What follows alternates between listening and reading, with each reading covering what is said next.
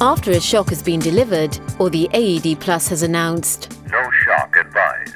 you'll be prompted to start CPR. Start CPR. If the patient is not breathing normally at this point, place your hands on the CPR landmark and deliver chest compressions to the patient. After your first few compressions, you will hear beeps from the AED Plus, which are designed to guide you to the recommended rate of 100 compressions per minute. Try to maintain synchronization between the beeps and your chest compressions.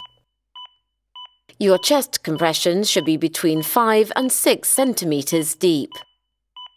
These depths are represented by lines on the right-hand side of the LCD display, and the bar indicates the depth of each chest compression. If your compressions are less than 5 centimeters deep, the AED Plus will prompt you to push harder.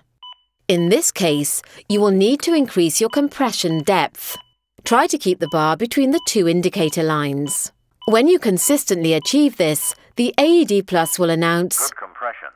after 30 chest compressions, deliver two breaths to the patient before resuming chest compressions. If you stop delivering chest compressions, perhaps to deliver ventilations for instance, and then do not start them promptly.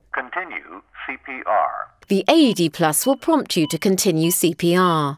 The AED Plus will automatically initiate another analysis of the patient's heart rhythm and prompt you to deliver another shock if required.